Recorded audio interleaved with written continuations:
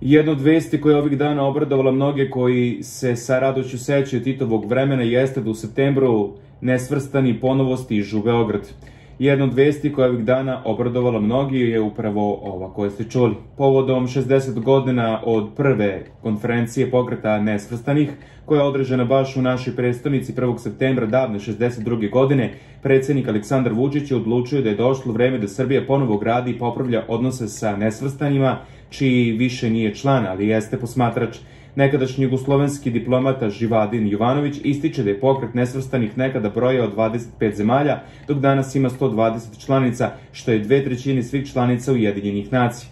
Nesvrstani imaju preko 50% svetske populacije. U nesvrstima kao posmatrači su Brazil i Kina, koja je najmnogoljudnija i druga najveća ekonomija na svetu. To je jedna velika snaga i raspolažu najvećim prirodnim mineralima i drugim resursima na planeti. Nesvrstani Srbiju prepoznaju kao naslednika bivše Jugoslavije. Ona nije punopravni član, već posmatrač, ali sve članice prihvataju Srbiju sa velikim poštovanjem i poverenjem.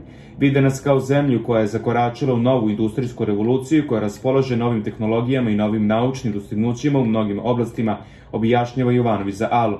Kako kaže, pošto nesvrstani predstavljaju dve trećine UNA, to Srbiji znači kao podrška suverenitetu i teritorijalnom integritetu Srbije i po pitanju rešavanja problema Kosova i Metohije.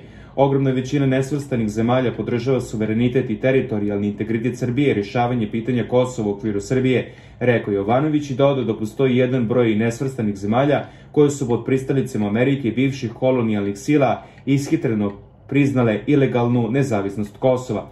Uz angažovanje Srbije, ukazivanja na činjenice može se desiti da bi veliki broj takvih zemalja mogao do, to priznanje da povuče.